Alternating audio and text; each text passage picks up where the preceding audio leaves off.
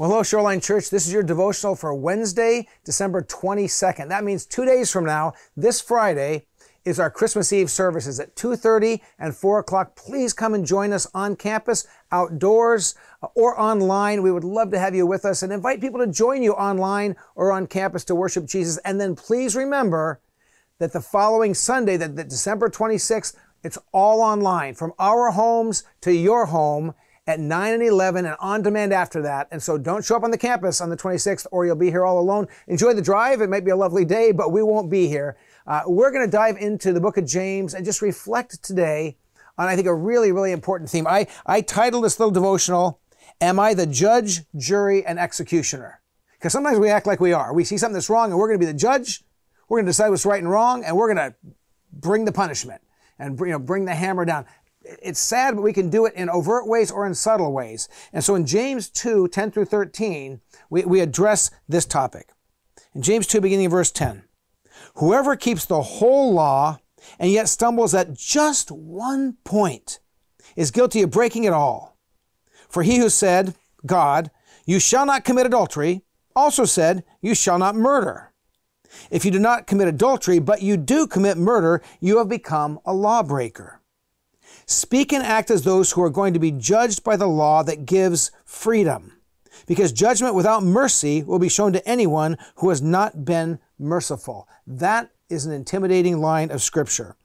Judgment without mercy will be shown to anyone who has not been merciful. And then the final part, mercy triumphs over judgment. It's a call to mercy. It's a call to grace. It's a call to the heart of God. Am I the judge, jury, and executioner? No, I'm not, and neither are you. Now there is one who judges, and he judges with justice and righteousness, and he knows exactly what's going on more than I do and more than you do. So just a couple of thoughts. Uh, here, here's one thought from this passage. Guess what? You can't keep the whole law.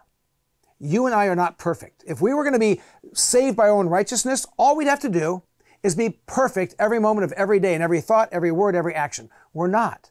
And because we've broken the law, we are lawbreakers every one of us, and we stand condemned before a perfectly holy God. So then there's also a question kind of how, how are you going to live your life? And what this passage tells us is to make a decision say, I will live, uh, you know, will I live under the law or will I live under God's mercy and God's grace? We have to make a decision. Now, what the passage is saying to us is live under grace. Because if you, if you live under law and you condemn others by the law, you'll end up being condemned because no one is righteous, no, not one, the scripture says, except for Jesus. And he paid the price for our sins. Here's another thought.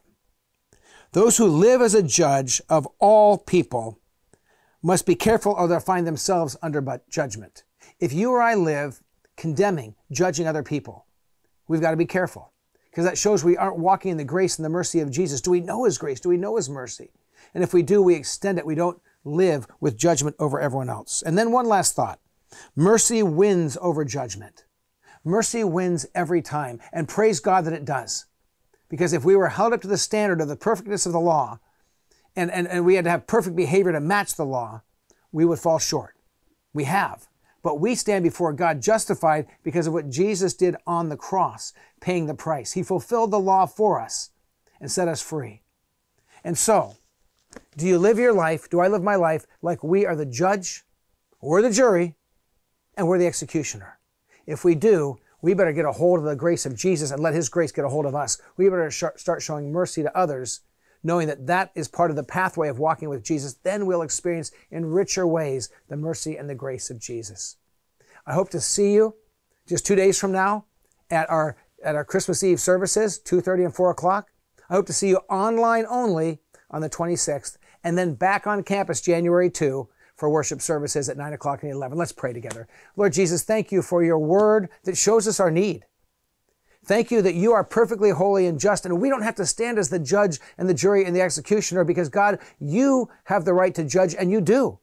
And you've paid the price for all of our sins if we'll receive that grace. Let us walk in the grace of Jesus. Let us show mercy to others. And let us understand that Jesus, you have made a way for us. We walk in that every moment of every day and we share that grace with others. We pray this in Jesus' name. Amen. Well, Merry Christmas and we'll see you on Christmas Eve.